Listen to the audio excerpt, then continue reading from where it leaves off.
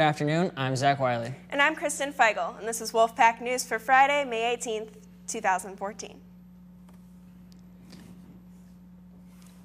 This Monday will be the last Muffin Monday of the school year. This week's flavors include chocolate chocolate chunk, apple crumb, blueberry, chocolate banana, or vanilla. Stop by to get one for only $1.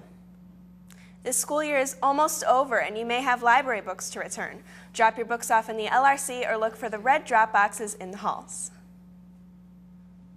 Clinics and auditions for students wishing to be members of the Color Guard are taking place next Monday, Wednesday, and Friday from 6 to 8 p.m. All interested students should enter through door 3 and arrive to band room by, by 6 each evening. Past experience is not necessary to be a member. Wear comfortable clothing, gym shoes, or dance shoes, but please no jeans. See Mrs. O'Neill in the band room with any questions. Yearbooks were distributed last week, and students now should have the opportunity to use digital editions to enhance their memories. Here's Vivian Evans and Caitlin Sass with more. Today, we have an inside look on this year's yearbook advancements. Predictions on the student body reaction to these editions have been positive so far.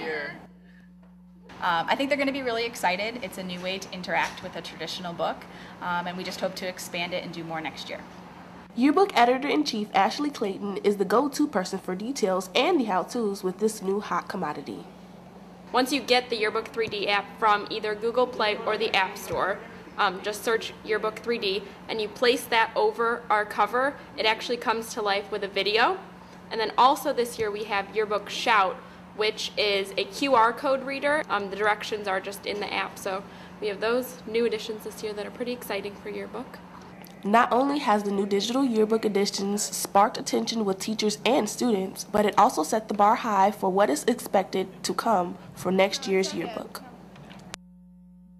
The LRC will be closed during periods 4 through 7 beginning Monday for the remainder of the school year.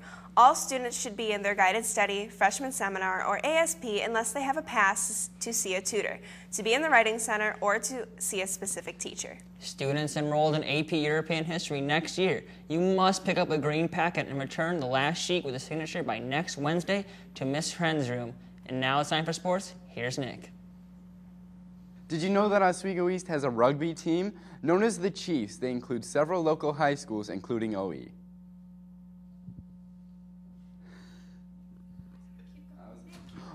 The Chiefs won their first round playoff match on May 14th and are now just two wins away from state championship.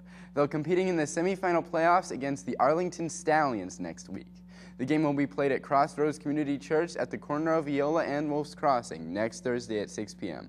Come out and support the rugby team. All wrestlers, there's a brief mandatory meeting after school on Tuesday in the, in the wrestling room at 2.35. Please be there with, for important information.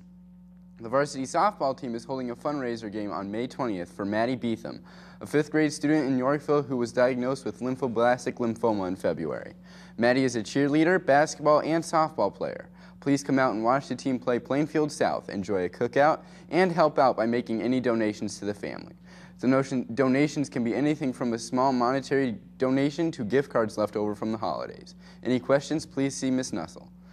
Boys and girls interested in running cross country, there's a mandatory meeting regarding summer running and the fall season starting Wednesday at 7 a.m. In, in room B250. See Coach Cook or Coach Milner if you have any questions. That's the latest in sports. Now back to the anchor desk. That's today's edition of Wolfpack News. I'm Zach Wiley. And I'm Kristen Feigl. Join us again on Monday here on East TV Channel 16. Thanks for stopping by, Wolves, and have a wonderful weekend.